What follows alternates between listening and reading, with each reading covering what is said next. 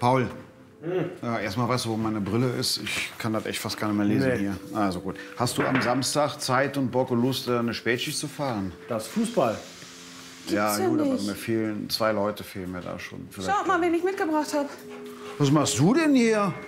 Hey! Ja, cool. Fußball. Komm mal her, Mädchen. Sag mal, äh, die ist alleine hier. Wie die ist alleine hier. Emma ist alleine hier. Emma! Komm mal her. Wie die ist alleine hier. Und dann da war niemand anders. Das ist aber eigentlich ungewöhnlich. Die sollte eigentlich bei der Hanna sein. Und die ist in der Uni. Magst du sie mal anrufen? Ja, sicher, klar. Warte mal ganz kurz. Also ich rufe die gerade mal kurz an. Guck, da war, da war sonst niemand. Ja, kann ja nicht weit sein. Muss ja bestimmt da sein. Wir haben das vereinbart, die ist normalerweise so drei Tage in der Woche, ist die eigentlich bei der Hanna. Und wenn die hier ist, Komm mit hier. Hier laufen Nee. viele böse und so. nee, da, geht's, da geht keiner dran hier. Was ist das denn jetzt hier? Hält's mal bitte hier vorne an, ich würde es gerne mal überprüfen. Man vergessen da seine Türen zuzumachen. Ja, das ist ja genau das Fahrzeug, so wie es auch beschrieben worden ist. Ne? Genau.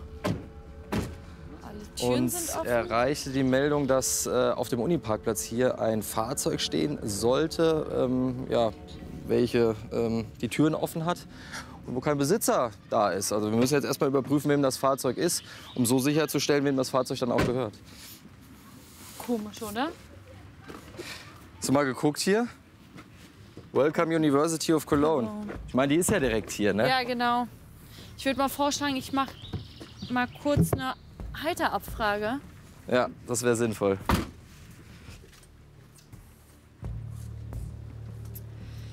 Arnold von 1537. Hier 1537. Wir benötigen mal bitte eine Halterabfrage zum, zu einem Kennzeichen. Ich buchstabiere Kölner Trennung, Anton Otto 394.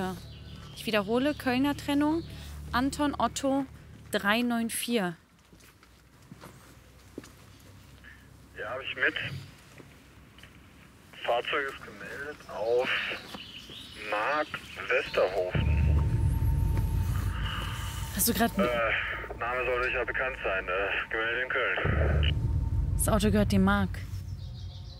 Westerhofen. Dieses Auto? Ja, das ist aber nicht sein. Auto. Ja, er kann ja mehrere Fahrzeuge haben, ist aber auf jeden Fall auf ihn gemeldet. Das hätte er uns so erzählt, wenn er jetzt hier so ein 1537 ähm, hat mit. Kannst du mir mal einen Gefallen ist ja tun? Hast du. Marks Nummer? Ja. Ruf ihn mal bitte an, vielleicht. Hey, das passt, das passt überhaupt gar nicht. Nee, deswegen sage ich ja, der hätte uns ja erzählt, dass er, wenn er so einen, so einen kleinen Wagen hätte. Seine Tochter vielleicht. Ja gut, ich, ich rufe den mal an. Ich Ruf, mal. ruf ihn mal bitte an. Das ist jetzt ein bisschen. Ist denn, ist denn Oh, warte mal kurz. Ja, Westerhofen? Marc, hier ist der Jonas. Jonas! Ja. Das verschafft mir die Ehre. Du, pass auf, erschreck dich nicht. Ähm, wir haben einen Wagen auffinden können auf dem Parkplatz von der Universität. Ähm, Köln, Trennung, Anton Otto 394. Sagt dir das was? Äh, ja, das ist, das ist mein Auto, also auf mich zugelassen. Köln, Auto, da- das ist mein Auto, aber die Hanna fährt damit rum. Ich finanziere das eigentlich nur. Was ist mit dem Auto los? Ja, pa pass auf. Ich hatte nämlich jetzt gerade auch zu Nesrin schon gesagt, dass uns dieses Auto ja überhaupt nicht bekannt vorkommt, weil du ja eigentlich immer größere Wagen fährst. Aber gut, jetzt erklärt sich das auch. Das, der Wagen, der steht auf dem Parkplatz der Universität äh, mit offenen Türen. Und Schlüssel steckt. So, der Schlüssel, der steckt noch und äh, ja, weit und breit keiner zu sehen. Ich hatte jetzt mal hier hinten auf die Scheibe geguckt. Da steht Welcome University of Cologne. Gut, das wird ja dann äh, deine Tochter studiert, ne? Ja, ja, das, das ist absolut korrekt. Ich studiert und äh, das ist auch ihr Auto, also zumindest. Aber wieso steht denn das Auto da? Und was ist denn da los? Wieso sind die Türen auf? Ist da eingebrochen worden oder fehlt da irgendwas? Also jetzt, dass hier irgendetwas großartig passiert ist, dass hier die Scheiben eingeschlagen worden sind, das ist nicht so. Macht die Türen von dem Auto bitte mal zu und geht mal bitte in die Uni direkt rein und guckt mal nach, wo die Hanna ist. Also ich mache mir jetzt gerade schon ein bisschen Sorgen, ne? Und das geht nicht, das ist blöd. Also die Hanna, die ist total gewissenhaft. Da bin ich tausend Prozent sicher. Sie lässt sowas nicht einfach Aufstehen, so eine Tür, so eine Autotür. Aber vielleicht ist es tatsächlich so. Und der Hund ist schon ausgebüxt, die sucht irgendwie den Hund, hat das total vergessen, dass die Türen da auf sind. Ich weiß im Moment wirklich nicht so, so richtig weiter, aber ich, ähm, ich glaube, ich rufe jetzt mal meine Frau an. Vielleicht weiß die ja irgendwas oder, oder Hannas Mitbewohnerin, die Nele. Und die müssen uns irgendwie helfen, sonst kommen wir hier nicht weiter. Hier, guck mal, siehst du das? Da haben wir Material, würde ich mal sagen. Gut, ich sag mal, Parkplatzbesitzer wird die Uni sein. Ja. Dementsprechend äh, müssten die ja auch irgendwie eine Aufzeichnung haben. Ähm, ja, ich mache das so, wie ich dem Marc auch gesagt habe. Ich gehe jetzt erstmal in die Uni, Ich komme mit. klär ja. das auf und ähm, dann müssen wir mal gucken, ob wir hier Material kriegen. Ja. Okay? Ich, ich rufe gerade mal meine Frau. Oh, boah. Scheiße, ey, was ist denn da los, Mann? Ja, hallo, ich bin's. Ja, hallo, Schatzi. Ähm, ich ich habe gerade nur eine kurze Frage. Ist, äh, ist die Hanna irgendwo da bei dir in der Nähe oder weißt du, wo die ist? Hat die mal angerufen? Ja, ich weiß es ja auch nicht. Ich habe keine Ahnung. Der, der Hund ist hier, das Auto steht an der Uni und die ist weg. Die Türen stehen auf und die gucken jetzt in der Uni, ob die da vielleicht irgendwo sein könnte. Ja, ich weiß es nicht. Ich rufe dich sofort an, ja? Und ruf mich bitte auch an, wenn da was ist. Okay. Ja. Okay, bis später. Ja, tschüss. Nee, ist auch nichts. Setz dich mal hin. Setz dich mal hin. Das ist gerade ein bisschen viel für mich. Nur damit Können wir irgendwas machen? Ich spreche gerade mit dem Chef. Bitte. Das hat die noch nie gemacht. Noch Erzähl mal. Also, du hast eben gesagt, Emma ist dreimal die Woche bei Hannah. Genau, das haben wir so vereinbart, weil sie hat ja eine Bude und ähm, ja, und dann haben wir gesagt, weil wir auch arbeiten müssen und sie kann auch ab und zu mal den Hund haben, ist gar kein Problem. Das haben wir so vereinbart. Aber Wohnt Hannah alleine? nee, die müsste, müsste eigentlich ein Mädel noch da drin haben. Ich glaube, glaub, Nele heißt die, aber ich weiß nicht. Ich glaube, ich habe sogar eine Nummer von der. Das ist eine, das ist eine gute. Oh, meine Fresse. So, Das müsste jetzt eigentlich auf unserem Account sein. Ich schau mal kurz nach. Wir haben ja das Tablet hier. Ja. Also es ist jetzt so, dass ich in der Uni war, dass ich da nach der Tochter gefragt habe. Da weiß keiner so richtig, wo sie ist. Ähm, wir konnten jetzt Videomaterial anfordern und das jetzt hier auf dem Tablet hoffentlich äh, anschauen. So. Da, eine männliche steigt ein. Sitzt sie da auf dem Fahrersitz? Ich glaube ja. Kurze Zeit später steigen beide aus. Oh, die streiten sich. Oder? Irgendwas ist da. Irgendwas ist da los, ja. Halt das kurz mal an. Willst du. Ich will mal eine Szene äh, filmen ja. und will das dem Marc mal schicken. Ja, ich komm. Ich habe versucht, die, die Nummer zu orten. Derzeit kein neues Signal. Heißt, das Handy ist ausgeschaltet Oder Akku ist leer. oder Akku ist leer. Auch nicht Hannas Ding. Aber gut. Aber kannst du noch mal versuchen denn? Weißt du Klar, ich, ich bleib dran. Wir, wir machen ständig neue Ortungen und wenn es was Neues gibt, dann wissen wir das. Ja, danke, ihr seid super, echt. Äh, ich habe ähm, Überwachungsvideos vom Uniparkplatz. Hast du mal was Der Positives Fahrzeug jetzt ist gerade? gefunden. Ja, ich weiß es nicht. Nesrin und Jonas sind jetzt vor Ort. Die haben mir das gerade rübergeschickt, beziehungsweise die sind da im Nahbereich. Und Wer ist das jetzt hier? an. Ein Kerl eingestiegen auf der Beifahrerseite. Ja gut, der hat eigentlich hat Auf sie der kein, Fahrerseite sitzt auch jemand, ne? das. Das müsste Hanna sein. Was macht sie denn jetzt? Ach, das ist Emma. Renn raus Jetzt holt sich Emma raus und Verschwindet. und geht. aber- Aber er bleibt da. So, und so wird das Fahrzeug aufgefunden. Ne? Er scheint aber der jetzt geht ja jetzt hinterher. Ja gut, aber sie hat ja einen Hund dabei. Ja, aber der Hund ist jetzt hier und Ja, aber Hannah der Hund ist doch nicht da. blutverschmiert. Dieser, dieser Mann da auf dem Video, ich, ich, ich habe den noch nie gesehen. Ich kann es nicht sagen. Vielleicht ist das wirklich ihr Freund, aber dann hätte Hannah das erzählt, dass sie überhaupt einen Freund hat. Also, wir müssen herausfinden, wer das jetzt ist. Und ähm, ja, er ist auch der Letzte, der die Hannah letztendlich gesehen hat. Und hoffentlich ist das dann nichts passiert. Ich mache mir echt riesige Sorgen. Ich sehe jetzt aber so auch nichts. Jonas? Ja. Hier Was liegt eine Tasche.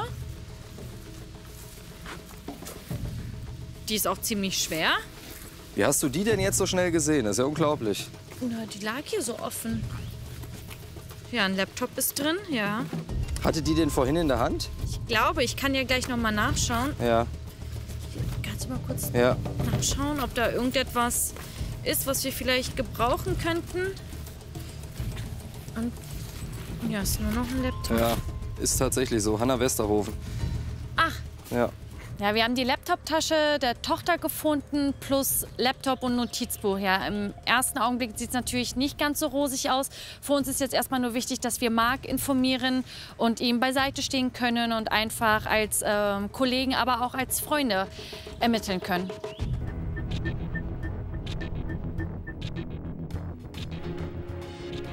Das ist dein Optimismus. Kommt ihr mal eben kurz rüber? Ich habe was Neues. Okay. Was hast denn du da jetzt? Ja, Nesrin und Jonas haben eine Tasche im Gebüsch gefunden. Das ist Hannas Planer. Also es ist wahrscheinlich auch Hannas Tasche. Ja, Okay. setz dich hin. Setz dich mal hin. Also, die haben das gefunden, aber sonst war da nichts. Da war kein. da war kein Blut, da war gar, Gar nichts. Vielleicht hat sie den Okay. da abgelegt, damit sie schneller laufen konnte. Ich weiß es nicht. Äh, Im Planer steht so heute gar nichts drin. Hier ist ein Laptop, den könnten wir uns mal anschauen. Das, das ist Hannas Laptop hier. Und, und hier ist noch ein Brief. Warte mal, lass uns gerade mal schnell mal das Laptop mal schnell mal eben gucken hier. Ah, ich weiß das, hoffentlich das richtige Kennwort. Jo. Was hat die denn hier alles drauf? Warte mal ganz kurz. Du kannst ja mal gucken, vielleicht was sie zuletzt geöffnet hatte oder so. Eine Hausarbeit ist hier noch äh, mit Kommentaren von Dozent B. Winters. Was sagst du? Ich schaue mir jetzt mal den Brief an. Ne? Okay. Meine liebste Hanna, ich kann es kaum erwarten, dich wiederzusehen. Ich freue mich wahnsinnig auf dich. Dein B. Wie heißt der Dozent, hast du gesagt? Dozent B. Winters. Ben Winters. Dein Gut, B. muss jetzt, muss jetzt auch nicht. So wie der Brief geschrieben ist, das äh, schreibt auf jeden Fall. Guck mal, das ist doch vielleicht eine ganz einfache Kiste. Das war der Freund am Auto, die haben sich kurz in die Haare bekommen und jetzt sind die einen Kaffee trinken und alles ist gut. Genau. Und ihre Tasche brauchte sie dabei nicht. So, die haben sich gestritten. Äh, Also irgendwas ist hier ähm, schon komisch. Also ich schaue mir gerade ein bisschen die Hausarbeit an. Ne? Ja. Da sind alles Kommentare drin, in Rot geschrieben von dem Dozenten hier, von dem Winters. Ähm, Was hat er für Kommentare was schreibt er denn? alles super. Oh, das ist jetzt ein Kommentar, der ist jetzt ganz unten drunter steht.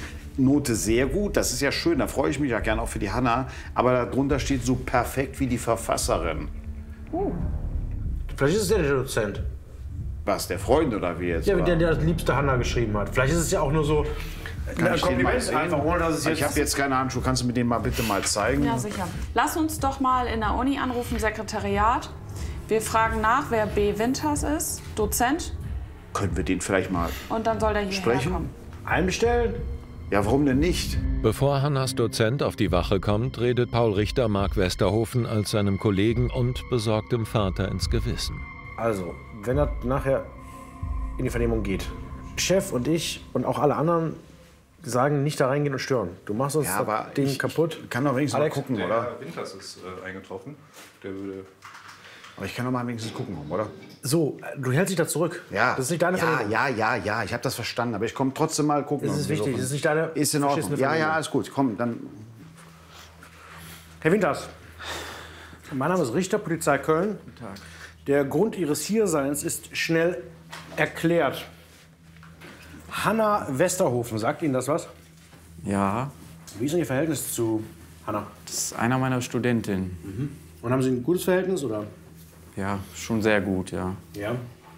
Wir haben Einblick in eine Ihrer ähm, Hausarbeiten gehabt und die haben Sie ähm, relativ nett kommentiert. Fast schon unprofessionell nett. Wir wollten nachhaken, inwiefern Sie das auch mit anderen Studentinnen machen, beziehungsweise ob das eine besondere Form eines Verhältnisses zwischen Dozent und Studentin ist. Also mit Anna mache ich das ganz sicher nicht. Ähm, Wie ist denn das Verhältnis zwischen Ihnen und Hanna? Ich kenne Hanna seit zwei Jahren, aber äh, eine Beziehung führen wir seit einem halben Jahr. Wie bitte? Ähm, ja, also wir haben einen äh, Brief in Ihrer Tasche gefunden und ähm, ich würde gerne wissen, ob das Ihre Handschrift ist, ob Sie diesen Brief geschrieben haben. Ja, das ist korrekt. Das, Ja. äh, Haben Sie ähm, in der Vergangenheit mal ähm, Streit mit äh, Hanna gehabt oder gab es irgendwie mal Knies oder weiß ich nicht, Kleinigkeiten, die auffällig waren? Woher wissen das denn jetzt? Ja, hatten Sie Uni- jetzt Streit mit der oder nicht? Ja, ehrlich gesagt, heute Morgen das Heute? erste Mal. Ja, Was war der Hintergrund Ihres Streits? Ja ähm, es ging nicht um den Kurswechsel. Und zwar ähm, hat sie den Anglistikkurs bei mir und der ist deckungsgleich, wird er von einem anderen Dozenten angeboten. Und ich habe gesagt, ich kann sie jetzt nicht mehr objektiv bewerten und sie soll den äh, Kurs jetzt erstmal wechseln. Äh, wenn sie das nicht macht, pausiert jetzt erstmal die Beziehung. Ich, mein Job steht da auch oft im Spiel. Das sehe ich auch so. Ich kann sie ja nicht mehr objektiv dann bewerten, wenn sie Und war das vielleicht so risikobehaftet, dass es eher sinnvoll ist, dass Hanna mit gar keinem darüber reden kann? Ja, also der Dekan an der Uni, der ist schon äh, da sehr streng. Also Aber Sie, Herr Winter, Sie können sich fragen, ich mache die Befragung Können wir ein paar Sprünge mal ich mache machen? jetzt die Befragung bitte. Sie hätten aber gutes Interesse daran, dass äh, ähm, diese Geschichte nicht rauskommt. ja klar, und vor allen Dingen ist sie auch Das ist weggelaufen ein beim Motiv, Streit. Winters, ne? das wissen Sie. Haben Sie meiner Tochter irgendwas angetan?